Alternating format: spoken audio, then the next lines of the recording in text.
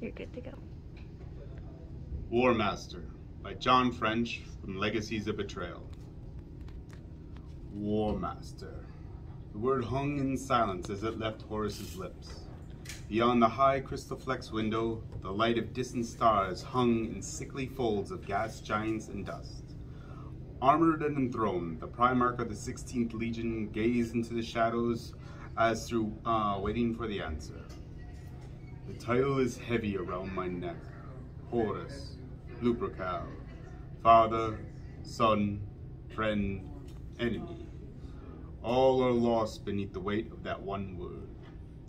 He turned his head, looking, looking to the black iron arms of his throne. His eyes moved to the bronze of the mace as tall as a mortal man. It was called World Breaker, and he had accepted it from his father's hand along with the title of War Master and command of the Great Crusade. His, gaze, his gaze came to rest upon the eagle-headed pommel. The ghost of a smile touched his lips. Our father never spoke of what it meant, only the limit of its authority. A dangerous word to leave unqualified. Perhaps he intended me to discover its meaning. Perhaps he did not care what it meant, as long as it freed him from us, his sons. Perhaps he did not know what it would mean for his Imperium. Horus raised his hand. A column of hololithic light filled the air before the throne. The shapes of men and women formed in grainy projection, twisting, shouting, dying, their pleas and screams looping over and over as the thunder of bolters uh, fire rolled through the silence. He knows now. He nodded to himself. The reflected light of the hololith flickering across the liquid black of his eyes. The fire is lit, and all that was cast to the wind. We are committed, he and I, my brothers, our legions, all humanity's futures bound together in this circle of blood. We are so, we are all the storm now. The Imperium will fall or rise by my hand. Fall and fall and fall. Slowly he stood, his armor whispering, clicking. He gestured again, and more cones of cold light surrounded him, tur uh, turning with images of blind faces. Some screamed with words, blood, and smoke spewing forth from their mouths, while others droned on in their dead, monotonous voices. Horus inclined his head listening. All this blood, the screams of change. Anarchy is this age is king. We fall apart, and this war slips from our fingers to spin into oblivion, he said, his voice clear even over the cacophony. Horus turned and watched the holographic recordings bloom around him. The throne room danced with ghost light of a thousand messages. Isstvan was to burn in silence so that our war could be won before it truly began. The angel's wings were to be broken at my feet, and still failures come tumbling one over the other, on and on and on. He paused, his eyes fixing upon the image of a shrunken astropath. Calth burned, yet our brother lives. Roboute, wise Roboute. Roboute with his scratching quills, his plans, his hope.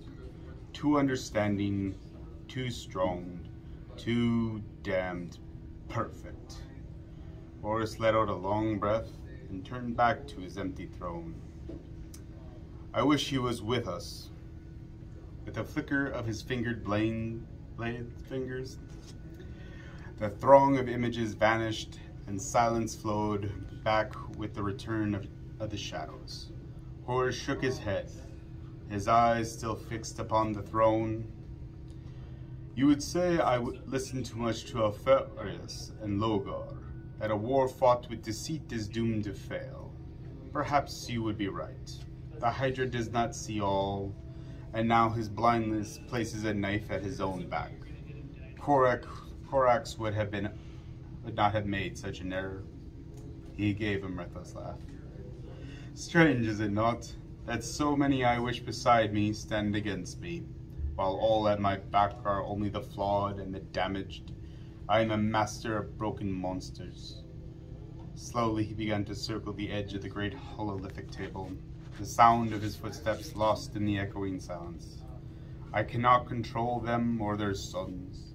They know it, Mortarion and Perturabo and the rest. They can all feel it. They all know that this war is no longer something that can be guided, only written out. But they never understood me, not truly. They understand less with each passing second. They doubt. They think that I have lost my way. I can see it in their hearts the pettiness, the pride, the seeds driving them on, feeding the tempest with such creatures I must make the future. He stopped again at the foot of the throne and reached out. His hand closed over War World Breaker's haft. With casual ease, he raised it up, so the chamber's thin light caught every dent scar upon the polished metal. A thousand battles, ten thousand, ten times, ten times, ten thousand, to bring about the new age all the certainties of the past torn down, all the beliefs that made them turn to the ashes. War on every front, stretched across time until none can know when the final blow will come. There is no disaster, for all disasters serve me alone. The storm rises only so that the thunderbolt may fall. He looked down at his throne again, shaking his head sadly. His arm relaxed and Worldbreaker rested at his side. His gaze shifted as though they were looking at something beyond what lay in front of him. No other would have dared this, not even you. Perhaps that's why our, our father chose me. That's why that was his only moment of honesty. Then his gaze focused and hardened his black eyes like reflecting pools in the face of an unforgiving king. Upon the arm of the throne, the skull of Ferrus Manus stared back at Horus with empty sockets that had once been eyes. Thin, fracture web of cracks ran across the perfect dome of the slain Primarch's crown, spiraling back to a splintered pit in his temple. Even reduced to polished bone, the skull seemed to radiate strength and defiance. It does not matter how the galaxy burns, only that it does. War Master, that's what it means, my brother. The strength to do what must be done. I was War Master by John French from Legacies of Betrayal.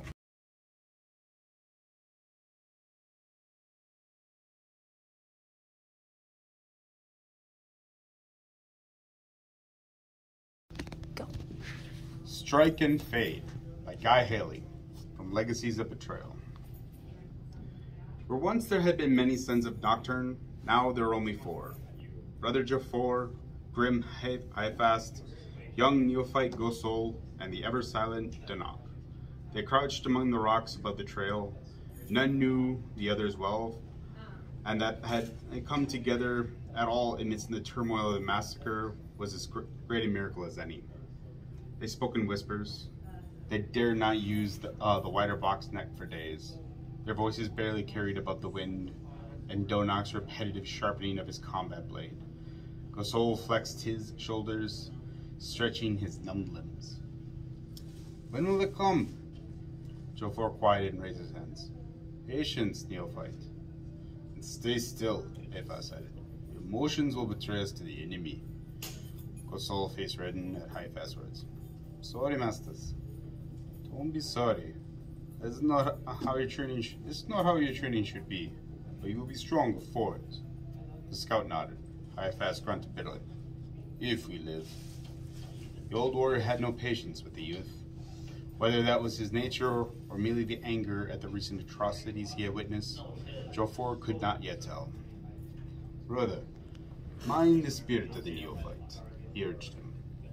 What of our spirits? My dreams are tapestries of gross betrayal, our brothers slaughtered by those they once called friend. Just have a care for the lad. Jafar sighted down his weapon to where the improvised explosion, explosives had been planted. I worry more for Donak. He's not spoken at all since we found him. The flame in his eyes are low. The forges of his heart have been quenched. I fast looked at him. You see, there are things even too great for a space marine to bear. Tell me you are untouched by it. Jafar sp- uh, spoke so quietly, his uh, voice was barely audible. I'm not untouched, brother. My heart's ache. My mind cannot contain the enormity of the slaughter. My eyes are sore with sorrow. He turned to Hyphast. But my rage outmatches it all. We four are from different companies within the Legion, granted. But all of us were born of the fire and fury. Our brotherhood is unshakable. There is succor for me in that, and power. Let all the other legions turn upon the sons of Nocturne, for nothing can break the bonds between us. There will come a reckoning. That's all I can say to any who doubt us. I fast noted solemnly, and he spoke, he was calmer. And that is why we follow you, brother. All is not lost, said Jafar. That the traders spend so much of their time scouring this particular area gives me hope. I do not believe we are the last servants of the Emperor on Isstvan 5. Behind his visor, Hyphas chuckled. And if we are? Jafar shifted. Then we will fight to the very end. Silence now. The Night Lords are coming. They all held themselves still as the rocks around them. They waited until the faint eh, sound of engines reached their enhanced hearings. Kosol looked up. Do you hear that? Bikers. Do we withdraw? Jafar shook his head. Too late. Look. A figure came around the curve in the track. He was clearly a legionary, but unarmed, with the welts crisscrossing his pale flesh. He staggered towards the defile where the salamander's booby traps waited. Now, Kosol produced a detonator switch, but Jafar held up his hand urgently. Wait, there is no, there, that is no trader that runs before them. The sound of the bikes built to a roar as a figure in night blue armor veered around the mountainside. He rode the narrow, uneven path with breathtaking skill. He chased the stumbling figure, lashing him with a cruel whip. Harsh laughter grating from his stylish helmet augmenters. Four other bikers followed, lightning marks on their battle plates sullied with dried blood. Hatred boiled in the eyes of Jafar. He looked at Kosol. The scout's face was uh, was flushed with excitement. Wait for the captain uh, to get clear. The lone legionary was still within the blast zone, but the bikers were gaining on him. Any longer, and they might too escape from the worst of it. Jafar felt felt his guts was now, Kosol, now! There was a terrific explosion, a blast of multiple charges erupting out of the lengths of the shadows. The leading Night Lord was hurled from the track like a rag doll, his bike plunging end over end down the steep mountainside. His followers skidded to a halt, frantically scanning through the clouds, obscuring dust to see who had attacked them. Jafar surged forward, aiming for the one traitor who had removed his helmet. He would pay dearly. A boiling jet of promethium from Jafar's flamer engulfed the warrior. He fell screaming from his mount, his flesh sloughing from his bones. The others spun their bikes and opened fire. Treachery had left their skills undimmed. Bolter shells tore up uh, the rocky terrain, but Hyphas and Donok fired with impunity from cover.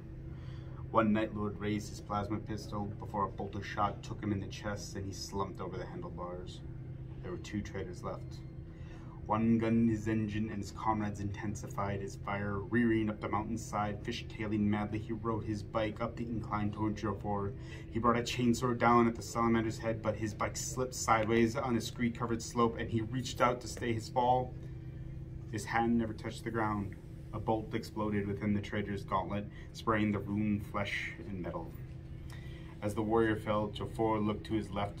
Brother Donak stride forward his weapon held level in both hands. He advanced calmly on the fallen Night Lord, putting a single shot through his eyelids. The last traitor swung his bike around to bring its twin bolters to bear, but Hyphas brought him down, blowing out his chest plate along with the ribcage it, shield, uh, it shielded it. The silence was sudden and horrifying. The air stank of propellant and murder. Jafar uh, wrinkled his nose. Well fought, brother. By a thousand pinpricks, we must bleed them. They died more easily than they deserved, Caiaphas muttered, advancing warily between the bodies. Then he turned to Gosol. Quickly now, young scout. Strike and fade. Let's strip the bodies. He went down to the dead, and Donok and Gosol followed him, rifling through the saddlebags of the nearest bike. High-Fast uh, halted suddenly, doubling back towards them. What have we told you, lad? Leave the gun. Take the nutrient packs and the ammunition. He stopped to put a bolt in the head of a traitor who stirred.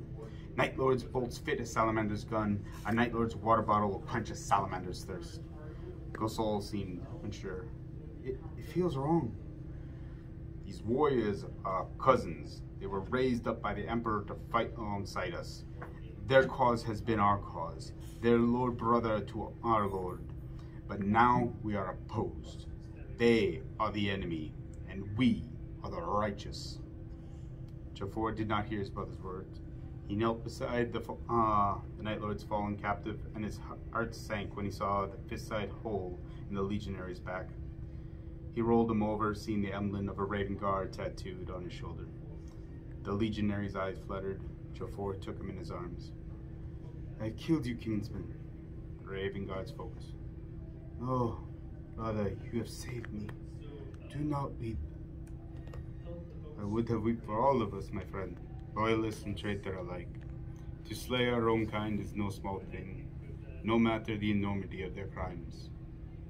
They are our own no longer. Darkness has overtaken them. The legionary was racked with a bloody cough. Listen to me. You must fight on. Fight and survive. And with you, survive with us. The Raven Guard smiled and meekly shook his head. His eyes closed. Jafar stayed with him until uh, the weak beating of his heart ceased. When his brothers approached, Jafar pointed to the mountain peaks high above the trail. He did not speak, for in that moment he did not trust the authority of his voice. As they made their way from the ambush, he he went from one night lord's went to one of the night lord's corpse. With his knife, he scratched the mark of his legion into the warrior's greave. The work was rapid, but fine. A dragon head of pure silver scorings, roaring outrage against betrayal.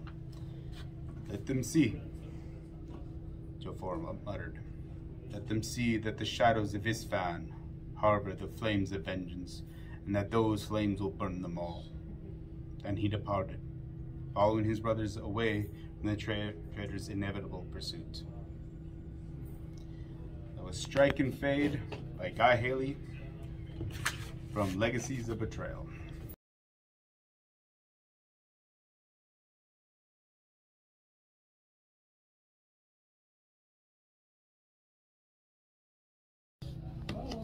You're good.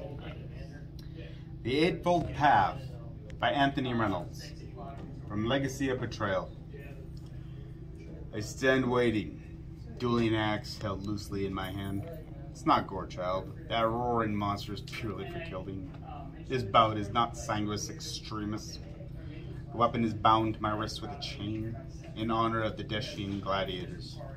I've seen their bones. I've walked their the site of their death. I've helped enact Angron's revenge upon their killers. Never met them, yet their deaths have been made known. Ah, who we are becoming. We are slaves to their memory. That blood Kharn. Borok, stripped to the waist as a mine. His slab muscled torso is crisscrossed with old wounds, scars upon scars. All of them are on his front. He has never shown uh, an enemy his back. No coward. There's blood, I respond.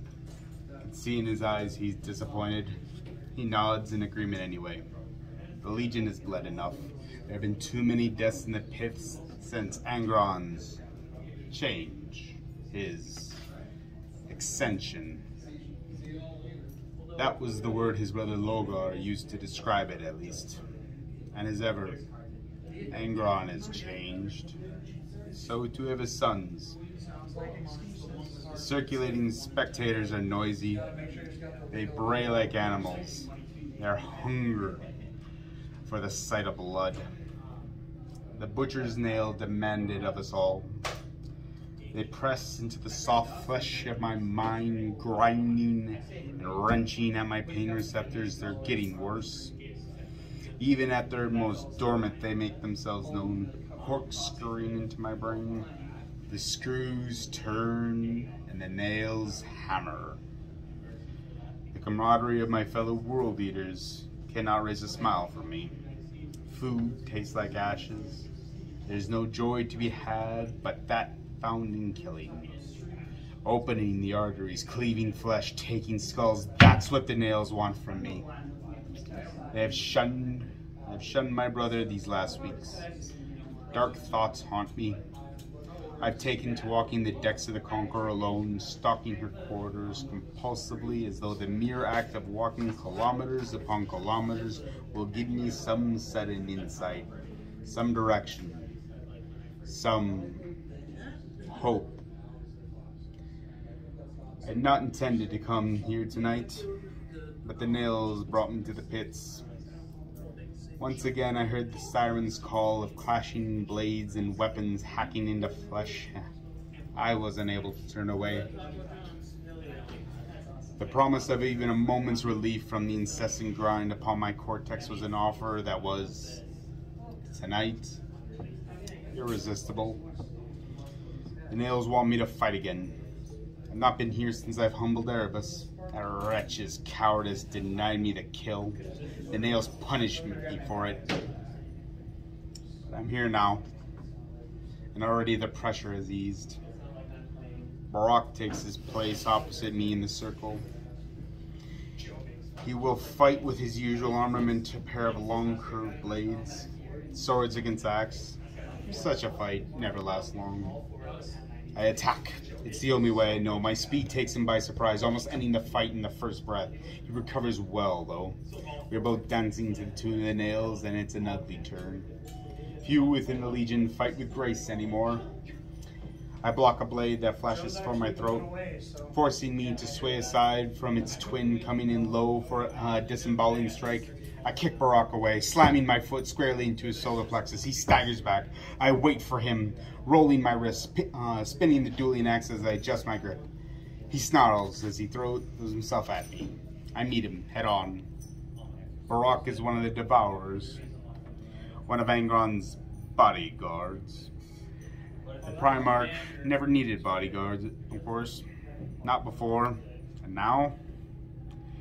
Chained and bound below deck, the notion that he needs protection is laughable.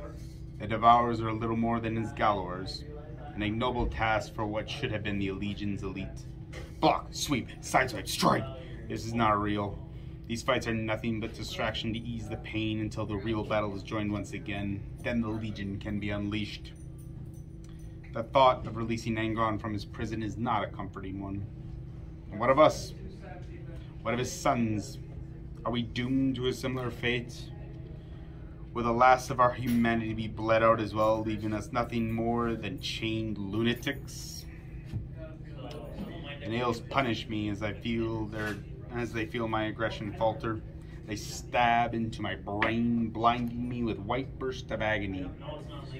Barak almost takes me from them. In my distraction, I only avoid his slashing blades by a hair's breadth. I can see the frustration in him. He wants to test himself against the warrior that had bested the Dark Apostle. That was different. That was true. This is merely a charade. One of his blades scraped along the haft of my axe, almost grazing my knuckles. That would have been the first blood, though the result would have uh, made Argel Tal laugh. Perhaps it is the memory of my old friend that adds some fuel to what comes next. A backhand blow sends me tumbling to the deck. Something drips on the back of my head. Blood? Did he graze me without me feeling it? No. We both glance up, the fight forgotten. The ceiling is bleeding. Another drop hits me, and then another. It's trickling down the walls, and then I hear Angron's roar. He's been raging for weeks, but this is different. It silences the crowd. The sound wells up through the grilled decks, vibrating through the steel. It makes the walls shudder and groan. It crackles through unpowered vox horns. It is enough to warp reality itself. My heart begins to thunder in time with the pounding in my head. It blurs with Angron's din, rising with intensity, a building crescendo. My fingers tighten around the haft of my axe. A growl escapes my lips. The pounding obliterates everything. I know it is coming and I am powerless to prevent it. It comes on faster than it has ever come before. I barely have time to take a breath. It hits me like a tidal wave and in an instant I'm drowning. Taking the axe in both hands, I surge to my feet. Everything goes red. The stink of blood and raw flesh is the first thing I notice. The second is the roar. Not Angron. The demon Primarch has fallen silent the roar of the crowd is just as deafening. My vision returns slowly, the red haze lifting to reveal the aftermath of butchery. Blood coats my hands and arms to the sleeve. It drips off my axe. There's blood in my mouth too, caking my lips and chin. It is not my own. I look at the carnage I've wrought. Barak is no more. What is left is a ruin, the work of a psychopath. The crowd roars its approval. It's sickening. I want to be away from here, away from the screams and the carnal stink. A figure step forward. My eyes are unfocused, yet the urge to bury my axe in his blurry face makes my fingers twitch. Orok was of the Devourers, Kharn. By rights, his place is yours now. That actually made me laugh. It comes out as a bloody cough. Spittle, spraying, and goblets of congealed gore fly from my lips. I drop my axe. It falls with a dull clang. I wipe my I wipe my hands down my arms. Blood sloughs away, dripping from my fingertips. I look around like a dreamer, waking from a deep slumber. The fury of the crowd, their anger and bloodlust, batters me. These are my sworn battle brothers. This is my legion. We will no longer walk the crimson path. I see that clearly now. We're walking another path entirely a road far more damning. I had thought it was superstitious nonsense, nothing more than the religious ranting of the 17th Legion. It is not. Sadly, it is not. We are walking the eightfold path, and there can be no turning back. That was the eightfold path by Anthony Reynolds from Legacies of Betrayal.